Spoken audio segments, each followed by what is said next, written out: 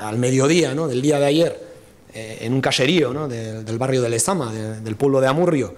eh, y en el momento en el que varios miembros de esta familia se encontraban en, la cocina, una bala, al parecer del calibre 9 milímetros, atravesó eh, el cristal de la ventana y se incrustó en la pared, pues a escasos centímetros en los que se encontraban estas personas, como digo. en función de la información que tenemos, parece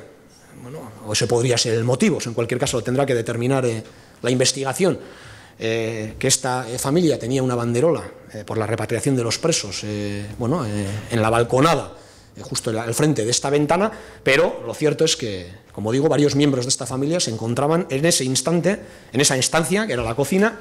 en donde fue a impactar la bala que atravesó el, cristal.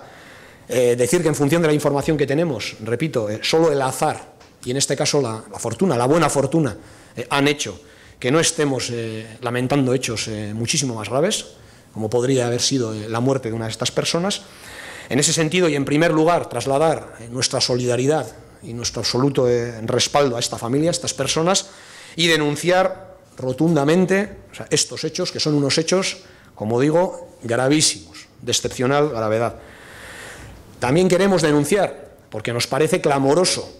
el silencio, la tibieza y la relativización de la gravedad de estos hechos por parte de la mayoría de, medios de comunicación, de los grandes medios de comunicación, y también de la mayoría de fuerzas eh, políticas, recordar que hace escasos meses en este país se abrían eh, telediarios y se abrieron eh, portadas de periódico durante varios días seguidos por unas pintadas en unos bazokis. Eh, es un auténtico escándalo, nos parece un auténtico escándalo, que ante hechos tan graves como estos, como digo, pues eh, se esté eh, extendiendo un manto del silencio o al menos se esté tratando de relativizar la gravedad de, estos, de estos hechos. Denunciar también la pasividad, la permisibilidad y en cualquier caso el doble rasero de los cuerpos policiales, de la Arzainza y también de la Judicatura, porque al menos que sepamos no se ha publicado ninguna eh, información en sentido contrario. Eh, si bien se ha identificado eh, a un autor o, posible autor de estos hechos, de hecho algunas informaciones apuntan en concreto que se trataría de un ex policía español, como digo, si bien se ha identificado a un supuesto autor de, estos hechos, al parecer no se ha tomado ninguna medida cautelar en su contra, yo me hago una pregunta, y le hago una pregunta a todos eh, ustedes. ¿Se imaginan cuál sería la situación eh, si hubiera sido al contrario? Si algún miembro de esa familia hubiera sido quien supuestamente hubiera realizado eh, el tiro contra la vivienda del que supuestamente es el autor de estos hechos, de un ex policía español. Por ejemplo, pues porque pudiera tener una bandera española en su balcón. ¿Se lo imaginan? ¿Cuál sería el nivel del debate? ¿Cuál sería la situación en estos momentos? Por otro lado, decir que en estos momentos hay eh, nueve chavales de Alchazu que están en prisión por una pelea de bar.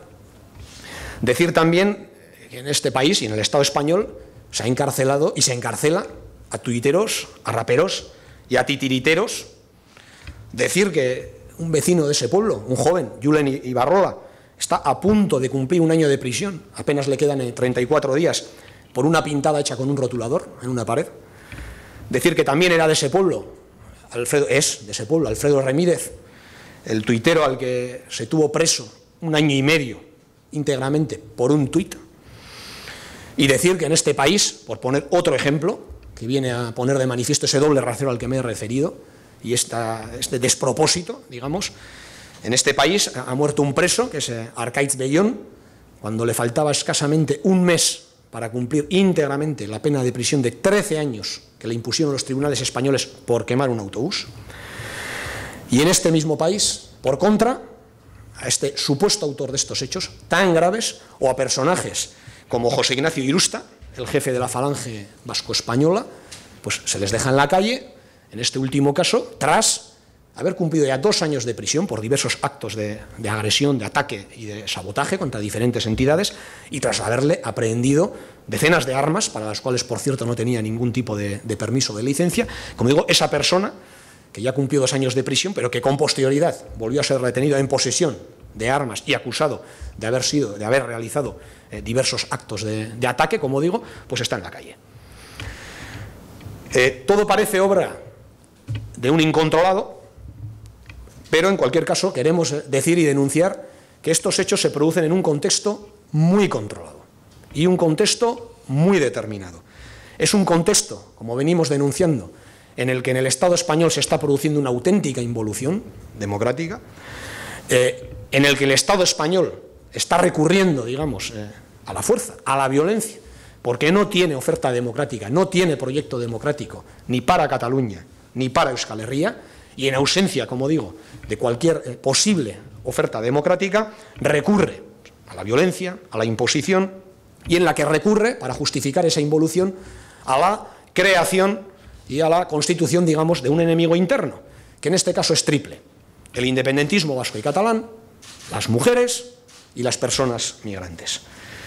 Queremos denunciar, en ese sentido, que los autores de esa involución, que son el Partido Popular, Ciudadanos y Vox, están generando las condiciones para que hechos como el de ayer sucedan y se repitan,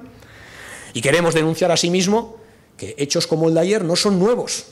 en este país, no son nuevos y se vienen produciendo permanente y sistemáticamente. Y tienen un precedente, el más grave de todos ellos, si finalmente se confirmara eh, la autoría, digamos, de esta persona que ha sido identificada como sospechoso, que sería, según eh, diversos medios, un eh, ex policía español, tendría un precedente, digo, que es el de Ángel Berrueta, en el año 2004, en un contexto también muy determinado, muy similar al actual, en el que en aquel entonces el Partido Popular generó un ambiente o sea, de persecución contra el independentismo vasco. Cabe recordar, basándose en mentiras y en la manipulación de la, opinión pública española. Queremos decir también y denunciar, como venimos haciendo durante estas últimas semanas, que el problema no es Vox, el problema no es Vox, el problema es Vox, es el Partido Popular y es Ciudadanos, porque en lo sustancial esas tres fuerzas políticas están de acuerdo, o sea, están de acuerdo en aplicar un 155, como vienen anunciando, duro, para Cataluña. Y ya veremos. Están de acuerdo en plantear que es necesaria una recentralización, ¿eh? una recuperación de poder por parte del Gobierno de Madrid, del Gobierno central. Están de acuerdo, y así lo están anunciando explícitamente, en recortar los derechos de las mujeres y los derechos de las personas migrantes, y están de acuerdo en aplicar toda una agenda de recorte de derechos sociales o de profundización en esos recortes de derechos sociales. Queremos decir que en este contexto, también lo venimos eh, denunciando, no es una opción hacer lo que el avestruz, o sea, no es una opción ponerse de perfil, menos aún lo es el tratar de edulcorar la situación, el tratar de ocultar la gravedad de la situación y de lo que viene, ¿eh? hablando poco menos de oasis,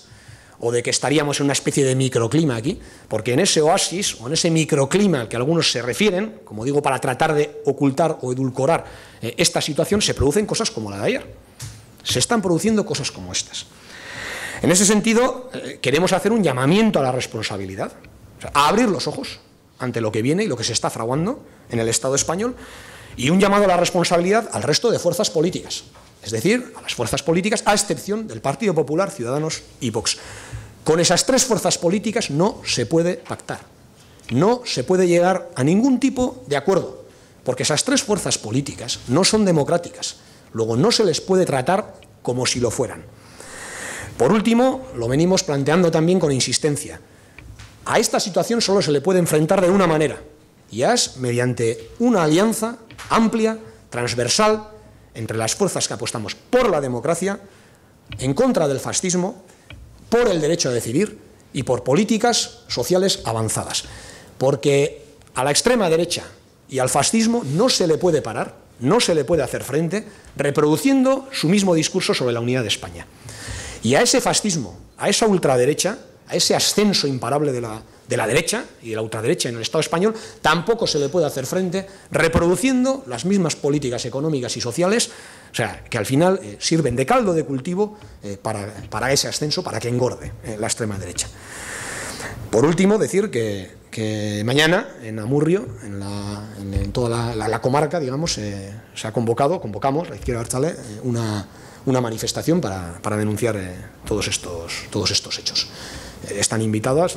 todos los ciudadanos y las ciudadanas de, este país, concretamente de la, de la comarca, asistir a ella.